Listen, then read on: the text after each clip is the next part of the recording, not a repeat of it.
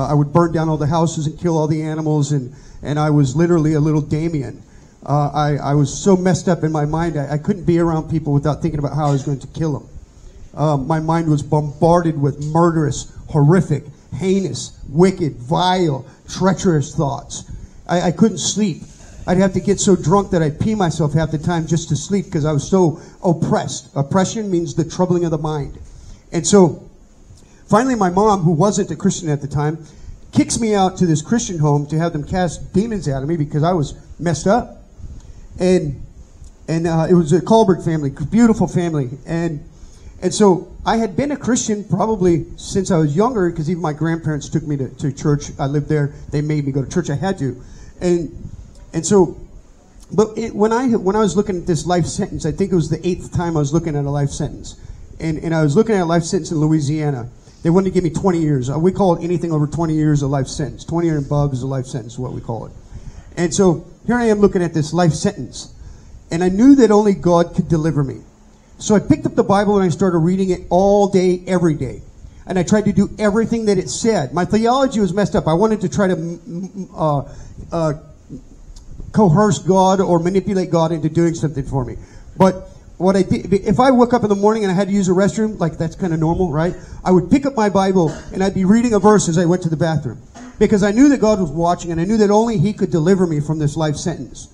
We had this old chaplain that, that used to come in there and, and he was a beautiful expression of Christ. I'd never seen anybody teach like him before nor after. He would go around the room and he knew what verse to ask each person to read. And then he'd ask them a question that made them come up with the answer to what that verse meant.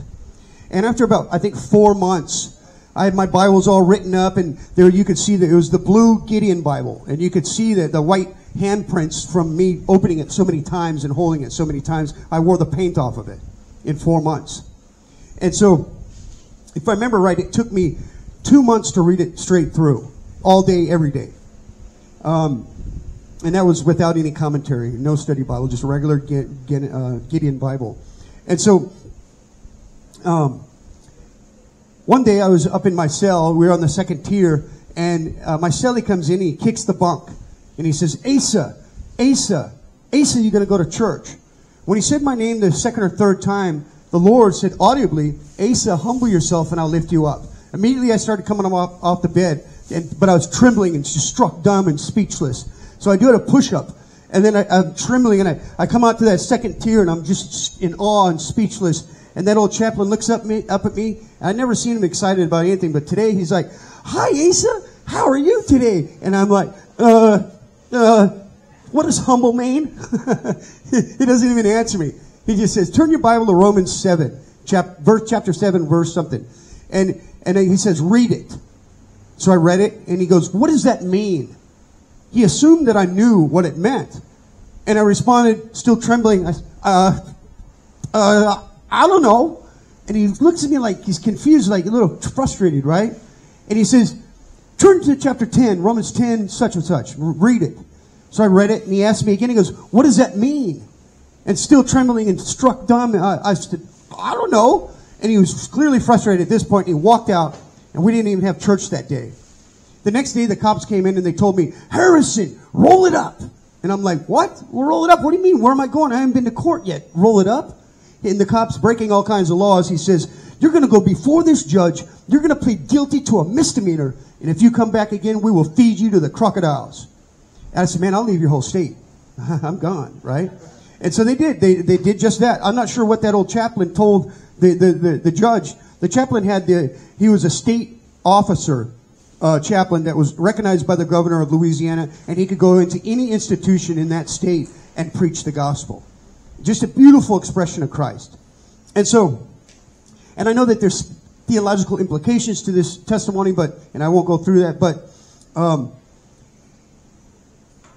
the point that I wanted to make is that I was diligently seeking Him. I was desperate. It was that one of my worst fears was to do the rest of my life in prison. And, and, and I deserved it multiple times. Um, but, excuse me. Uh, and it's it's kind of uh, unfortunate, but that fell onto my son. Actually, my son ended up getting a life sentence. He he uh, he ended up he he ended up what's that? he ended up getting a life sentence, and um, and broke my heart. If I ever thought I was a bad dad before, oh, I knew now, right? But long story short is is that we cannot manipulate God to, into doing anything. He's going to act according to his character every time, and he, and he can't act inconsistent with his character or nature. But he does desire for us to seek him diligently, in a sense, with a sense of desperation. Because submission and desperation go hand in hand. That's why I was I would bring every thought into captivity. I quit lying. I quit looking at women lustfully. I quit. I didn't do. I tried to do everything that the Bible said, and and then and then I had like that encounter with the Lord. Uh, now I'm not saying that that's going to happen to you because it's very rare. Scripture even says that the the, the word of the Lord was rare in the days of Samuel. Um, uh, but he he he is he's when you look at woman, woman is made in the image of God. And she wants to be desired. She wants to be wanted. Try to look, like I said before, if you walk down the street with one and you look at another one, she's going to smack you. Right? So, same thing with the Lord. God is jealous for our affections and will tolerate no rivals because he has none. So, and, and I've said, like I said yesterday, what is an idol? An idol is anything that, that consumes my mind it, it, it, consumes my affections and, and becomes the controlling factor for my decisions in life. God wants us to know His law, but He wants us to be devoted to Himself, not just a bunch of rules. They're important to know. They're absolutely important to know. I love the law of God. But he, he, want, he wants us to move on in this relationship with Him in in a, in a hunger and thirst after Him. I want deliberately to encourage a longing after the ineffable majesty on high. He's the only one worthy of praise. He's the only one worthy of affection. He's the only one worthy of glory and strength and honor and might and rule and dominion and authority. He's the only one worthy of awe, splendor, majesty. And, and, and he, he's, he's worthy of our devotion. He wants us to be devoted or consecrated to Him. He wants us to be devoted to Him. It's repentance isn't so much I turn away from evil as much as it is I turn away from evil and turn to God. And so it, repentance is vital. It says godly sorrow, worldly sorrow produces death. In other words, if I'm sorry because I got caught, or I'm sorry because of the consequences of my actions, this is what we call worldly sorrow. So I want you guys to be able to decipher between the two because there's two types of repentance. One that leads to life and salvation, and the other that leads to death. So if if you guys if anybody in here is is using alcohol and drugs because because they desperately want to please the Lord, I tell you uh, myself that's that's why I that's why I used to use is because I was miserable, I was wretched, I hated the fact that I sinned. Not that I hated, not that I, hated the consequences of my sin. Of course I did. But I just despised the fact that I sinned. And that's because I had been reborn from on high by the will of God. Not by a, a little prayer that I prayed 15 years ago. Because remember, salvation is, I repented 20 years ago, meaning I'm still repenting today. I believed 20 years ago means I'm still believing today.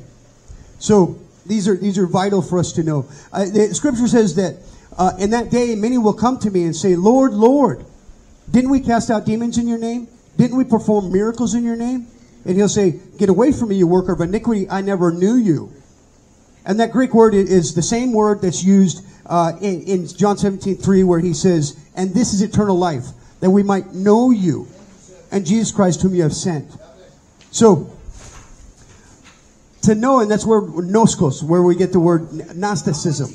And, and what it means is it means experiential knowledge of, empirical knowledge of, intimate exclusivity. It's, it's a euphemism, meaning it's a, uh, uh, it's a way of, a euphemism is, how do you explain a euphemism?